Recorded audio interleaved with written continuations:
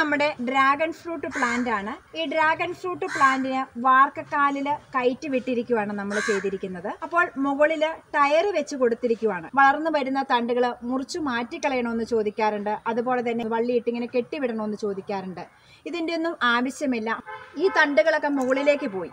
ഈ മുകളിലേക്ക് പോയി കുറച്ച് കഴിയുമ്പോൾ ഇതിന് വെയിറ്റ് ഇവിടെ താങ്ങാൻ പറ്റാതെ വരുമ്പോൾ തനിയെ താഴേക്ക് ഇങ്ങനെ വളയുവാണ് ചെയ്യുന്നത്. തനിയെ താഴേക്ക് വളരുമ്പോൾ ഇവിടെ ഒരു ചെറിയൊരു ചുളുക്ക് വരും അല്ലേ? ആ ചുളുക്കിന്റെ അവിടെ നിന്ന് ധാരാളം ബ്രാഞ്ചസ് പൊട്ടുവാണ് ചെയ്യുന്നത്. ഇങ്ങോട്ട് നോക്കിക്കേ. ഇത് കണ്ടോ? ഇതിന്റെ അകത്ത് തന്നെ ഒരു മൂന്ന് നാല് ബ്രാഞ്ചസ് പൊട്ടിയിരിക്കുവാണ് ചെയ്യുന്നത്. അപ്പോൾ നമ്മൾ ഡ്രാഗൺ ഫ്രൂട്ട് ടയറിലോ അല്ലെങ്കിൽ കമ്പിയിലോ ഒക്കെ കയറ്റി വിടുന്നവർ അത് മുകളിൽ എത്തിക്കഴിയുമ്പോൾ നമ്മൾ ഒന്നും ചെയ്യണ്ട. അത് തന്നെ താഴേക്ക് വളരുകയാണ് ചെയ്യുന്നത്. ഡ്രാഗൺ ഫ്രൂട്ട് ഇങ്ങനെ താഴേക്ക് വളർന്ന നല്ല മൂത്ത തണ്ടുകളിലാണ് പൂക്കളുണ്ടാവുന്നത് പൂക്കളുണ്ടായി മുപ്പതാം ദിവസം നമുക്ക് ഡ്രാഗൺ പഴങ്ങളായിട്ട് കിട്ടും.